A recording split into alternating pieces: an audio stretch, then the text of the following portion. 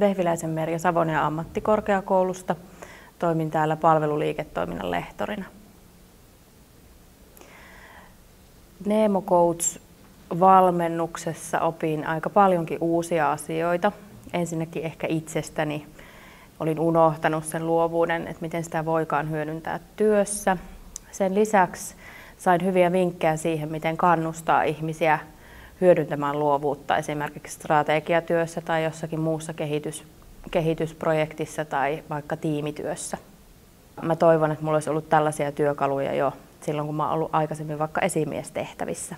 Että tavallaan löytyi niitä semmoisia sellaisia keinoja, että aa, mä voin käyttää tätä tässä ja voi että kumpa mä olisin voinut käyttää sitä myös aikaisemmassa työssä, vaikka ratkoessani jotain yrityksen haastetta.